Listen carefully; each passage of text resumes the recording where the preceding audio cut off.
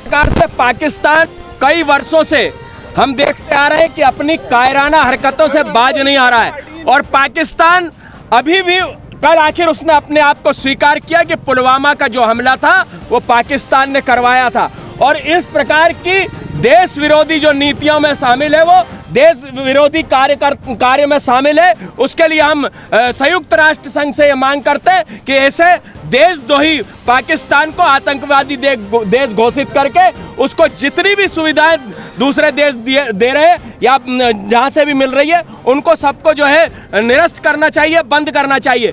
दूसरी तरफ़ में कांग्रेस के उन गद्दारों से जो कि हिंदुस्तान में रहकर और जो अब मांग, इसका सबूत मांग रहे थे कि पाकिस्तान का जो, पुलवामा का जो हमला हुआ है, वो भारत ने प्रायोजित किया है। अब वो उसका जवाब माननीय सोनिया गांधी, माननीय राहुल गांधी जी और देश में रह रहे जो लोग इसका सबूत मांग रहे थे पुलवामा हमले का, वो जवाब दे कि किस प्रकार से, अब जब पाकिस्तान ने स्वीकार किया है तो अब इसका क्या जवाब होगा? या तो वो पाकिस्तान चले जाए, वहीं की गाय और वहीं की खाए। हिंदुस्तान में रहना है तो वंदे मातरम कहना होगा।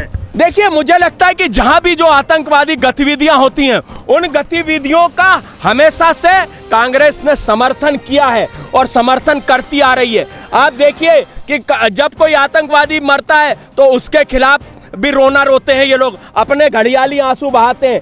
कभी भी इन्होंने हिंदुस्तान की जो सरजमी पर आतंकवाद फैल रहा है, उसका कभी भी इन्होंने विरोध नहीं किया। मुझे लगता है कि इस पुलवामा हमले का जब ज़िम्मेदारी पाकिस्तान ने ली है तो इनको अवश्य जवाब देना चाहिए राहुल गांधी और सोनिया गांधी को कि क्या आप भी उस साजिश में शामिल थे।